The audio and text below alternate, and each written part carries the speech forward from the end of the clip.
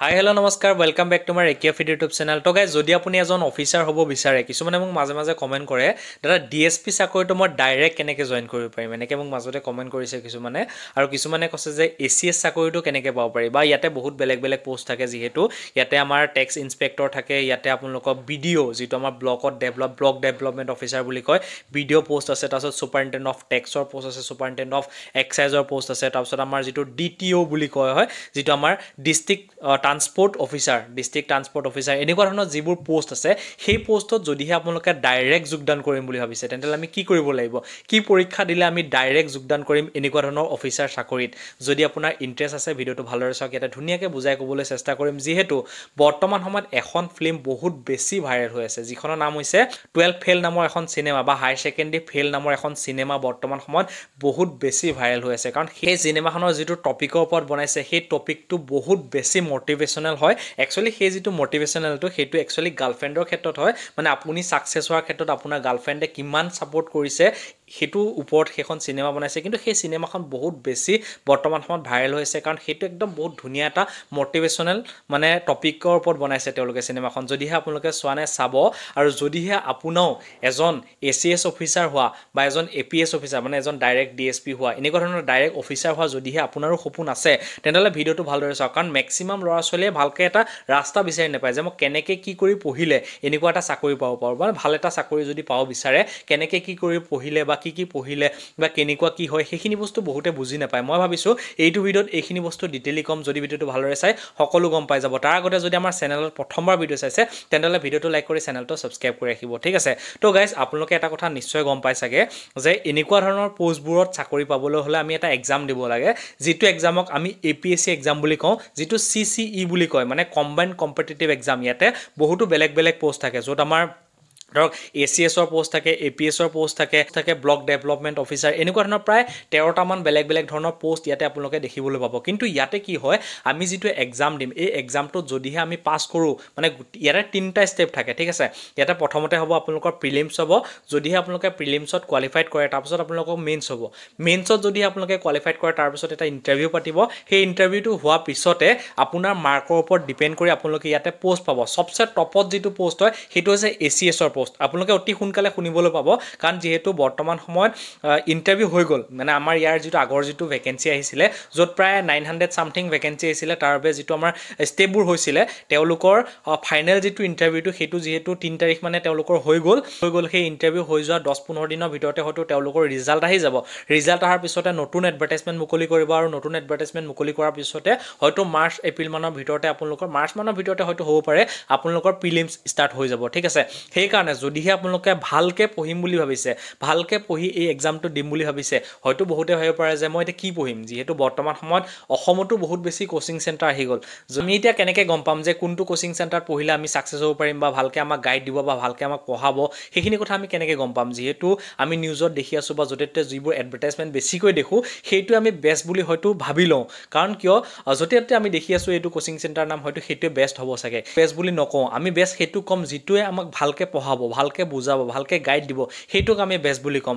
বৰ্তমান সময়ত যদি কেৰিয়াৰ ক্লাছ নামৰ এটা ইউটিউব চেনেল আছে তেওঁলোকৰ তেওঁলোকৰ এটা কচিং চেণ্টাৰো আছে তাত ধুনীয়াকৈ আপোনালোকে চাব পাৰিব। প্ৰথমতে মই আপোনালোকক নকওঁ যে আপোনালোকে গৈ পেলাই ডাইৰেক্ট কচিং চেণ্টাৰত জইন কৰক। কাৰণ কিয়? আমি প্ৰথমতে জানি ল'ব লাগিব যে তেওঁলোকে পঢ়ায় কেনেকৈ বুজায় কেনেকৈ আমি তেওঁলোকে পঢ়ালে বুজি পাম নে নাপাম। ঠিক আছে তেওঁলোকে গাইড দিব নিদিয়ে বা ভালকৈ বুজাব নুবুজায় সেইখিনি বস্তু আমি প্ৰথমতে জানি ল'ব লাগিব। ডাইৰেক্ট বৰ্তমান সময়ত যিটো আমাৰ কেৰিয়াৰ ক্লাছ নামৰ যিটো ইউটিউব চেনেল চলাই আছে বা যিটো আমাৰ কচিং চেণ্টাৰ চলাই আছে। সেই বাইদেউজনীৰ নাম হৈছে পুনম গগৈ। আপোনালোকে চাব বিচাৰে গুগল কৰি চাব পাৰিব বা য'তে চাই আপোনালোকে চাব পাৰিব। তেওঁৰ নাম হৈছে Punam Gogoi A C S rank ten two thousand nineteen বেটছৰ যদিহে আপোনালোকে চাব বিচাৰে চাব পাৰিব। আৰু তেওঁ গাইড দি বহুত ল'ৰা ছোৱালী বৰ্তমান সময়ত এ পি এছ চি চাকৰি পাইছে। আৰু এক্সাম্পল হিচাপে যদি চাওঁ ইয়াতে ৰিমজিম ৰিমজিম কোঁৱৰ নামৰ এজন A C S rank eleven আপোনালোকে খবৰ কৰিব পাৰে। আৰু এজন হৈছে Apon Das A C S rank forty one তো আপোনালোকে গুগল কৰি চাব পাৰে হয়নে নহয় সেইখিনি বস্তু আপোনালোকে চাই ল'ব। ঠিক তেনেকৈ বহুতো ল'ৰা ছোৱালীক তেওঁ ছাপৰ্ট কৰি এ পি এছ চিত চাকৰি বা এ পি এছ চিৰ বা এক্সাম দিয়াত তেওঁ হেল্প কৰিছে বহুতো গাইড দিছে বহুতো ছাপৰ্ট কৰিছে ষ্টাডি মেটেৰিয়েল তেওঁলোকে যোগদান যোগান ধৰিছে। তো যিমানখিনি ষ্টাডি মেটেৰিয়েল লাগে সম্পূৰ্ণ তেওঁলোকে যোগান ধৰিছে একদম পূৰা ছাপৰ্ট কৰিছে। যদিহে আপুনিও ভাবিছে যে মই A P S C exam দিম তো তেওঁলোকৰ পৰা কণ্টেক্ট কৰি তেওঁলোকৰ পৰা সুবিধা ল'ব পাৰিব। তো কেৰিয়াৰ ক্লাছ নামৰ যিটো ইউটিউব চেনেল আছে তাত গৈ পেলাই ধুনীয়াকৈ আপোনালোকে ক্লাছ কেইটামান কৰি চাওক যে তেওঁলোকে পঢ়াইছে কেনেকৈ তেওঁলোকে বুজাব পাৰিছে নাই। সেইখিনি বস্তু ধুনীয়াকৈ আপোনালোকে চাই লওক। আৰু মই এটা নাম্বাৰো দি দিছোঁ মোবাইল নাম্বাৰ এই নাম্বাৰটো আপোনালোকে স্ক্ৰীণত দেখি আছে। এই নাম্বাৰটোত আপোনালোকে কল কৰক। কল কৰিলৈ তেওঁলোকৰ পৰা ভালকৈ জানি লওক যে আপোনালোকে যে আমাক যিটো কোচিং কৰাব সেইটো কেনেকুৱাকৈ কৰাব কি কি কৰাব আমাক কেনেকৈ গাইড দিব বা কি কি আপোনালোকৰ পৰা ফেচিলিটি প্ৰভাইড কৰিব কিমান পইচা আমি দিব লাগিব সেইখিনি বস্তু আপোনালোকে প্ৰথমে ভালকৈ জানি লওক তাৰপিছতহে আপোনালোকে তাত যোগদান কৰিব। ঠিক আছে মই যিখিনি ক'বলগীয়া আছে সেইখিনি মই আপোনালোকক কৈ দিছোঁ। এতিয়া যদি আপোনালোকে এ পি এছ চি এক্সামটো দিম বুলি ভাবিছে ইয়াতে যিহেতু তিনিটা ষ্টেপ থাকে ফাৰ্ষ্ট ষ্টেপ হয় সেইটো হৈছে প্ৰিলিমছ এক্সাম আৰু প্ৰিলিমছ এক্সামটো বহুত বেছি টাফ নহয় বুলি ক'ব লাগিব কাৰণ প্ৰিলিমছ এক্সামত আমি জাষ্ট টিক মাৰ্ক দিব লাগে। টিক মাৰ্ক যেনেকৈ আমি ধৰক আমি চাওক এতিয়া আমি যদি গ্ৰেড থ্ৰী লেভেলৰ এটা চাকৰি বা গ্ৰেড ফ'ৰ লেভেলৰ যিবোৰ চাকৰিবোৰ তাত কি হয় আমাৰ টিক মাৰ্ক দিয়া এটা পৰীক্ষা হয় সেই টিক মাৰ্ক দিয়া পৰীক্ষাটোৰ পিছত এটা ইণ্টাৰভিউ এটা হ'ব। যদিহে ধৰক আপুনি পঢ়া শুনাত ইমান ভাল নহয়ও আপুনি টিক মাৰ্ক দি পেলাই যেনে তেনে আপুনি পাছ কৰি গ'ল। যদি আপোনাৰ ধৰক অলপ নলেজ আছে আপুনি ইণ্টাৰভিউত ধুনীয়াকৈ কথাবোৰ ক'ব পাৰিছে তেনেহ'লে আপোনালোকে ডাইৰেক্ট চাকৰি পাই যাব। কিন্তু এই যিটো এক্সামটো এই যিটো আমাৰ এ পি এছ চি পৰীক্ষাটো এইটোত এনেকুৱা নহয়। এইটোত আপোনালোকে এনেকুৱা নহয় যে আপোনালোকে টোক্কা মাৰি চাকৰি পাই যাব সেনেকুৱা কেতিয়াও হ'ব নোৱাৰে। ইয়াতে যিহেতু আমাৰ কেইবাটাও ষ্টেপ থাকে। ফাৰ্ষ্ট ষ্টেপটো হৈছে আপোনালোকৰ প্ৰিলিমছ এক্সাম হ'ব। আৰু প্ৰিলিমছ এক্সামত দুখন পেপাৰ আহিব। মই আপোনালোকক কৈ আছোঁ প্ৰিলিমছ এক্সামত আপোনালোকক দুখন পেপাৰ আহিব। আৰু সেই দুখন পেপাৰ আহিব জেনেৰেল ষ্টাডিছৰ আপোনালোকৰ পেপাৰ ওৱান পেপাৰ টু দুখন মানে পেপাৰ আপোনালোকে দেখিবলৈ পাব। আৰু এখন পেপাৰত আপোনালোকক দুঘণ্টাকৈ আপোনালোকক সময় দিব। পৰীক্ষাটো হ'বলৈ হ'লে আমাৰ এখন পেপাৰত দুঘণ্টাকৈ আমাৰ সময় থাকিব। আৰু দুশ মাৰ্ককৈ থাকিব। ঠিক আছে? টোটেল আমাৰ চাৰিশ মাৰ্কৰ ভিতৰত চাৰিশ মাৰ্কৰ ভিতৰত এই পৰীক্ষাটো অনুষ্ঠিত হ'ব। মানে প্ৰিলিমছটোত দুখন পেপাৰ থাকিব সেই দুখন পেপাৰ যদি কোৱালিফাইড কৰে তাৰপিছত আমি নেক্সট ষ্টেপত যাম। আৰু এই যি দুখন পেপাৰ থাকিব সেইখন টিক মাৰ্ক দিয়া জাষ্ট টিক মাৰ্ক দিয়া। আপোনাক তো প্ৰিলিমছত যদি আপোনালোকে পাছ কৰে তাৰপিছত যিটো আমাৰ নেক্সট ষ্টেপ হ'ব সেইটো হ'ব মেইনছ হ'ব। মেইনছত কিন্তু আমাৰ দুখন পেপাৰ নহয় মেইনছত হৈছে আমাৰ ছখন পেপাৰ। ঠিক আছে? আমাৰ মেইনছত কেইখন পেপাৰ মেইনছত হৈছে ছখন পেপাৰ কিন্তু মেইনছত এটা কথা আপোনালোকে মনত ৰাখিব ইয়াতে আপোনালোকে টিক মাৰ্ক দিলে নহ'ব। মেইনছত আমি কি কৰিব লাগিব? আমি লিখিব লাগিব যেনেকৈ আমি মেট্ৰিকৰ পৰীক্ষাত আমাৰ প্ৰশ্নটো চোৱাৰ পিছত আমি ধুনীয়াকৈ এনচাৰ লিখিছিলোঁ দফা দফা যেনেকৈ এনচাৰ লিখিছিলোঁ ঠিক তেনেকৈ আমি মেইনছত লিখিব লাগিব। তো ইয়াতে আপোনালোকে এছ ৰাইটিং কৰিব লাগিব মানে আমি ৰচনা লিখিব লাগিব এছ এ ৰাইটিং কৰিব লাগিব য'ত আমাৰ টু ফিফটি মাৰ্ক থাকিব ঠিক আছে? আৰু ইয়াতে যিটো সময় থাকিব আমাৰ তিনি ঘণ্টা থাকিব ঠিক আছে? ইয়াতে যিহেতু ছখন পেপাৰ থাকিব ন ছখন পেপাৰ কাৰণে প্ৰত্যেকখন পেপাৰত আমাৰ তিনি ঘণ্টা তিনি ঘণ্টাকৈ সময় থাকিব। আৰু মেক্সিমাম ল'ৰা ছোৱালী যিটো প্ৰশ্ন আছিলে যে আমি অসমীয়াত দিব পাৰিম নে ইংলিছত দিব পাৰিম আপোনালোকে বহুত লেংগুৱেজ মানে দুইটা লেংগুৱেজে ইয়াতে আপোনালোকে দেখিবলৈ পাব। আপুনি অসমীয়াত দিয়ে ইয়াৰ ইংলিছত দিয়ে যিটোতে দিব বিচাৰে সেইটোতে আপোনালোকে এই এক্সামটো দিব পাৰিব ঠিক আছে? আৰু ইয়াতে চাওক ইয়াতে আমাৰ যিটো এছে হ'ব। মানে ইংলিছত আমি অসমীয়া তো আমি ইয়াতে ৰচনা লিখিব লাগিব। ইয়াতে প্ৰায় টু ফিফটি মাৰ্ক থাকিব। তিনি ঘণ্টা আপোনালোকক সময় দিয়া হ'ব। বাকী যি আমাৰ paper two paper three paper four paper five এই চাৰিখন যি প্ৰশ্ন কাকত এই প্ৰশ্ন কাকতকেইখন আপোনালোকক জেনেৰেল ষ্টাডিছৰ ওপৰত আহিব। জেনেৰেল ষ্টাডিছৰ আপোনালোকক ওপৰত আহিব। আৰু ইয়াতে প্ৰায় মানে দুশ পঞ্চাছ মাৰ্ককৈ প্ৰত্যেকখন পেপাৰতে থাকিব আৰু প্ৰত্যেকখন পেপাৰতে আপোনালোকক তিনি ঘণ্টাকৈ সময় আপোনালোকে পাই যাব। ঠিক আছে? তাৰপিছত যিটো আমাৰ ছয় নম্বৰ যিখন পেপাৰ হ'ব এইখন আমাৰ হ'ব।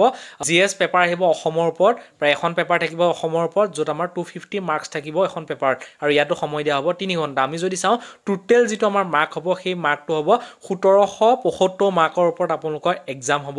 আৰু ইয়াৰ ভিতৰত আপোনালোকে কোৱালিফাইড কৰে। তাৰপিছত আপোনালোকক ইণ্টাৰভিউলৈ মতা হ'ব।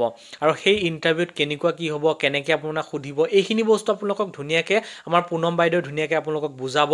যিহেতু তেওঁ এজন যিহেতু নিজে এজন এ চি এছ অফিচাৰ হয় তেওঁ সেইখিনি বস্তুৰ বিষয়ে বহুত ভালকৈ জানে। কাৰণ তেওঁ সেইটো লেভেল তেওঁ পাছ কৰি আহিছে। সেইখিনি বস্তু ধুনীয়াকৈ জানে আপোনালোকক সেইখিনি বস্তু ধুনীয়াকৈ গাইড কৰিব আৰু যদিহে আপোনালোকে ভালকৈ পঢ়ি পেলাই এই চাকৰি ল'ম বুলি ভাবিছে তেনেহ'লে তেওঁলোকৰ যিটো কেৰিয়াৰ ক্লাছ নামৰ যিটো কোচিং চেণ্টাৰ সেইটো আপোনালোকে যোগদান কৰিব পাৰে আৰু তেওঁলোকৰ পৰা প্ৰথমতে জানি লওক বস্তুখিনি মই তেওঁলোকৰ ইউটিউব চেনেলৰ লিংকটো মই ভিডিঅ'ৰ ডেছক্ৰিপশ্যনত দি দিছোঁ বা আপোনালোকে ডাইৰেক্ট ইউটিউবত চাৰ্চ কৰিলে হ'ল কেৰিয়াৰ ক্লাছ বুলি আপোনালোকে নিশ্চয় পাই যাব আৰু তেওঁলোকৰ যিটো কণ্টেক্ট নাম্বাৰ সেইটো মই ভিডিঅ'ৰ ডেছক্ৰিপশ্যনত দি দিছোঁ বা স্ক্ৰীণত আপোনালোকে নিশ্চয় দেখি আছে তো তেওঁলোকৰ পৰা ভালকৈ ধুনীয়াকৈ জানি লওক আৰু যদিহে আপোনালোকৰ ইণ্টাৰেষ্ট আছে এজন অফিচাৰ হোৱা তেতিয়াহ'লে তেওঁলোকৰ পৰা সেইখিনি বস্তু ধুনীয়াকৈ জানি লৈ তেওঁলোকৰ পৰা ভালকৈ পঢ়ি শুনি এজন অফিচাৰ হওক মই সেইটোৱে বিচাৰোঁ। ঠিক আছে? তো গাই যদি মোৰ ভিডিঅ'টো আপোনালোকৰ ভাল লাগিলে ভিডিঅ'টো লাইক কৰি চেনেলটো ছাবস্ক্ৰাইব কৰিব। ভিডিঅ' চবে ধন্যবাদ।